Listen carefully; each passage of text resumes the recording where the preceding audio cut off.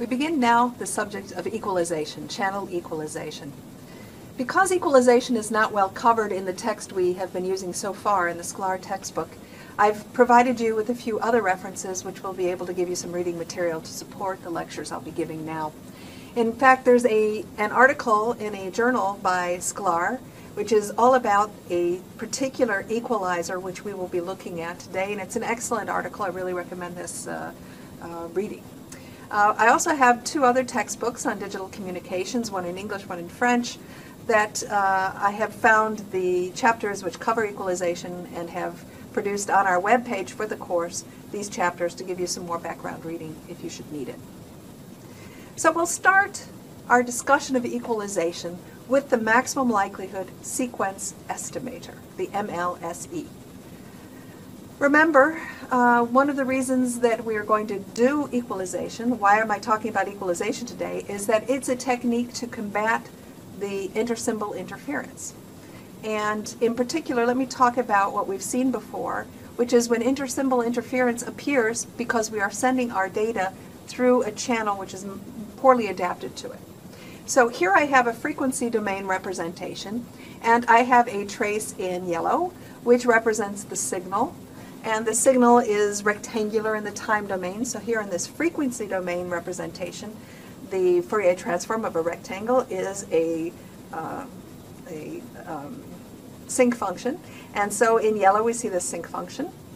And in pink I have traced the um, frequency response of the channel that I've simulated. So in this case we can see that the frequency domain of the channel has a bandwidth which is much narrower than the bandwidth of our system, however you want to de de define, the, define the bandwidth of our signal. Clearly the signal is much wider than the bandwidth we're trying to put it through. In fact, I think it's 10% as I uh, mentioned here. Now, if I look at what happens in the time domain to the signal before I put it through that channel and after I put it through this channel, uh, this is what I get. Before filtering, I get this blue um, a blue trace, which is just a rectangle. And after fil filtering, I get the yellow trace. And that is because the, uh, the effect of passing my signal through a channel which is much too narrow for it is to actually spread that time domain signal out and make it slower because I'm forcing it to go through, uh, I'm cutting off all the high frequency con content so I cannot go with transitions as fast as, as this one.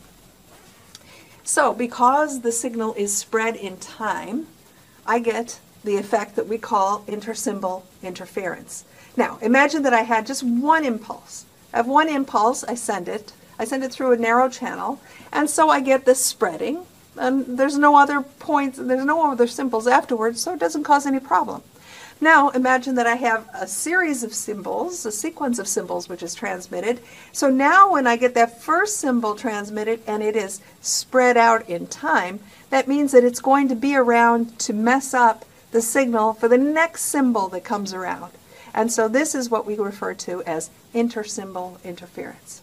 So instead of having uh, a nice uh, clearly identifiable sequence of bits here, I instead have this amorphous lump for a signal, and I can't tell uh, exactly which bits are sent. It's much more prone to errors due to this intersymbol interference. Now, we've looked so far at optimization criteria for signals for systems where there was no intersymbol interference. So when there is no intersymbol interference, in this case, we could uh, devise, devise a strategy. What would be a good way to detect our signal. And we came up with the maximum likelihood receiver. And in order to maximize the likelihood of our decisions, we used a sampling, a linear sampling receiver, such as the one that we see here. And this receiver, now we have the signal which is transmitted, it's combined with noise, arrives at the receiver RFT. First thing we do is we match filter it. So we have a filter, we match it to the signal that's transmitted. Next thing we do is we sample it, and then we compare this um, test statistic, the sample that we've measured, we compare it to a threshold. And depending on whether it's large or smaller, is whether we make a, we make a bit decision of logical zero or logical one. And that threshold was determined by the system configuration and it would let us maximum, maximize likelihood. So when we did this analysis, we found that there was kind of like an equivalent way of looking at what was going on with this receiver. First thing I want you to notice is that this receiver examines one symbol interval at a time. We have one symbol interval, we make one test statistic, we compare that test statistic to a, a threshold, and then we determine what, the, what it is. And then the next bit interval comes along and we do the whole thing again. But it's always a one-shot, look only at one symbol interval. And we saw that comparing it to a threshold was essentially the equivalent of comparing that received signal with all of the points in a constellation. So for instance, suppose I had a um, QPSK constellation, four points. If I had some signal that was received there, what would I do? I would compare, I would calculate the distance. What's the distance to symbol 1? What's the symbol, uh, distance to symbol 2? Distance to symbol 3? Distance to symbol 4? And clearly it's closer here to the second symbol, and so that would be my estimate. My estimate would be the second sy symbol for this R that I received. So that was the maximum likelihood receiver. So this is optimal when there is no intersymbol interference. So what do we do in the case of intersymbol interference? What changes? Well, I still would like to maximize the likelihood. That still seems like a good idea.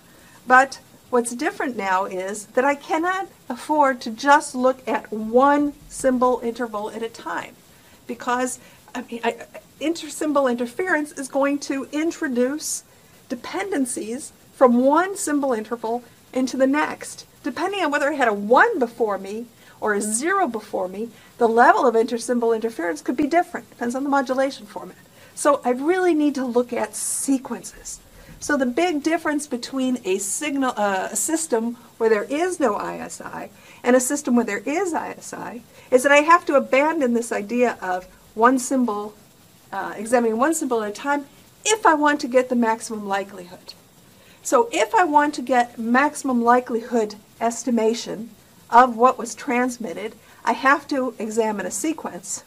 And that sequence that I examine, I have to look at a certain window.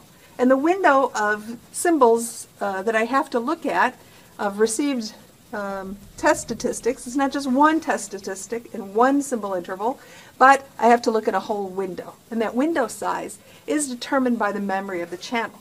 So a channel which is has the um, uh, pulse spread much more will require a larger window than a channel that spreads the pulse a little bit.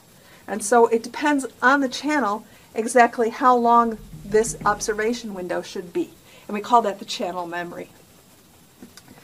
So uh, if we look here, I'm going to use a notation now about not one little i, which says which one of these four.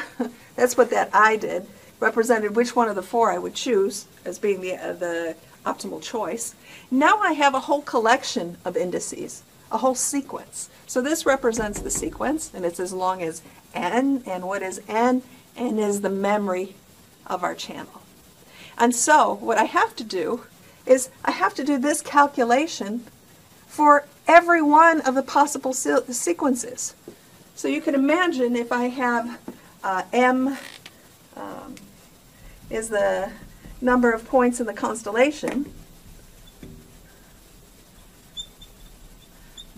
and n is the number of uh, uh, the length of the memory of the channel, then I have something like m to the m sequences that might be best.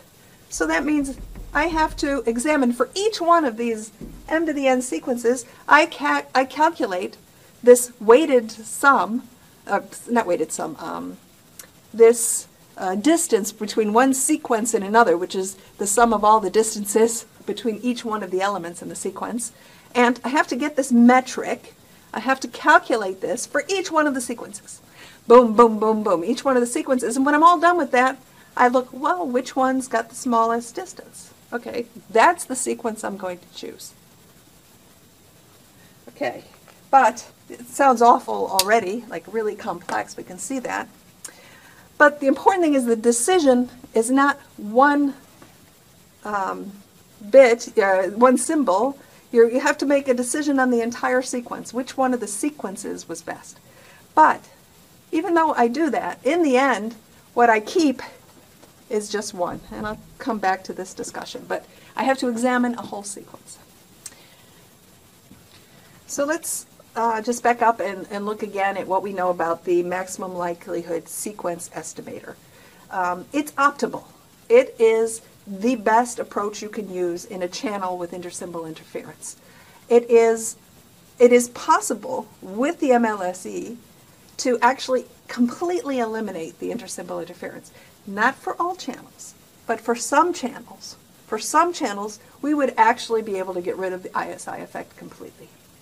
But let's face it, it is extremely complex. For each bit, we have to examine all the m to the n sequences that are available. Now, I, I should mention that there is some, there are some tricks that we can use to try and soothe out all that complexity. And that is called the Viterbi algorithm. So it's the Viterbi algorithm can help us with complexity. It doesn't get rid of the complexity, but it makes it uh, a little more practical to implement. And in fact, what we would do is the form of our receiver, if we were going to use maximum likelihood sequence estimation, is just like before I would have my match filter, just like before I would sample after that match filter, but now I add another step, and that other step is the Viterbi algorithm, which is an algorithm which calculates the maximum likelihood sequence estimate in a very um, uh, computationally effective memory, uh, minimizing the amount of memory required, uh, very efficient VLSI implementation. So it's possible, but it's still complex. So I said I would come back and uh, talk a little bit more about what we're doing when we're examining the sequences. So like I said, we examine m to the n sequences, choose the best one. There's one among those m to the n that is better than all the other ones, has the smallest distance, and I pick that one. But remember, all of that effort was in order to decide what was the best symbol during this interval. Then what do I do? I keep this and I go on to the next symbol. And I start the whole process all over again. So I don't use the results that I had previously. No, now I have a whole nother set of sequences. When I get to the new S0 at the next interval of time, I recalculate again all of the m to the n. And this is what makes it very complex. Now what does the Viterbi algorithm do? The Viterbi approach uses a structure that defines the interrelations between the uh, symbols.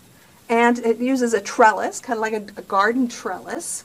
Um, and this structure captures the interdependencies introduced by the channel. The size of this trellis is related to this complexity number m to the n. However, I don't have to start from scratch at each point and re-examine all to the m to the n. What I do is I can use some recurrence relationships to bring down the, the complexity of the operations. You know, like here, there's calculating a lot of distances squared, summing, all that. I make this much more streamlined. And I also manage the memory that's required in order to do my, um, run my algorithm. And so this is uh, used in um, different applications areas, and not just for maximum likelihood sequence estimation. Uh, so this is, is, is very well known. So I said it's not just for equalization. In fact, one of the biggest uses for Viterbi was the uh, use for convolutional codes or error correcting codes, forward error correcting codes. And this is a system where at the transmitter I encode the information which is going to be transmitted over a noisy channel. And I deliberately introduce correlations between the bits before I transmit them in this, in the, across the channel. Then, at the receiver, I know what the transmitter did. I know exactly what the correlations were that were introduced at the transmitter. And at the receiver, I use the structure of this uh, correlation that was introduced and the Viterbi algorithm and together, I can go in and find where errors were made, correct them, and uh, generally, you know, like really boost the, the um, performance of my system. So this is probably a place where we see Viterbi used very much. But the second one is for an ISI channel. Because what is similar between these two um, situations is that there is also in an intersymbol interference channel correlations which are introduced between bits. If I had a 1 before, it's different than if I had a 0 before because that behavior is different. In this case, uh, I don't have the luxury of choosing uh, dependencies which are really useful. So here, you know, there's a whole set of mathematics where I introduce correlations which are easy to exploit in my decoder and can actually correct lots of errors. Here I just have to sort of deal with the channel I'm, I'm stuck with. So I have a certain physical channel which gives me a physical uh, frequency response and this is introducing ISI because I'm just trying to push data through at a rate that's just too high. It introduces ISI. Okay, so there's correlations. That's what's similar between these two. Remember, ISI is deterministic. It's not like noise. It's not random.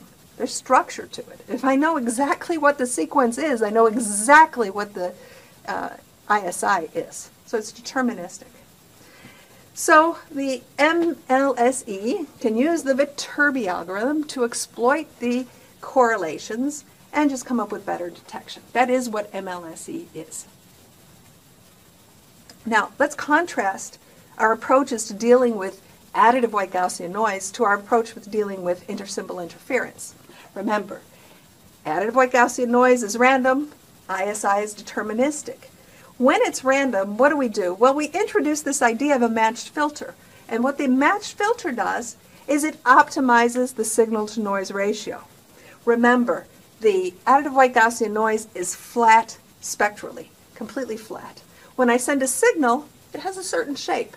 So what does my matched filter do? Well, it says I'm going to match the shape so that as much of the signal gets through as possible, but because the signal is shaped, I'm going to eliminate uh, the noise where there's not much signal content. And so what that does is it makes the signal to noise ratio optimal. So no filter, no equalizer can predict additive white Gaussian noise. It's not possible. It's random. It, it can't equalize that noise. But when we talk about intersymbol interference, then we talk about predicting. We talk about examining a sequence and having a good idea of what the previous bits were because of looking at how things added up. And so um, it's uh, possible to uh, use some sort of predictive approach or equalization approach for ISI, which just doesn't work for additive white Gaussian noise. The match filter, it doesn't do anything for the ISI.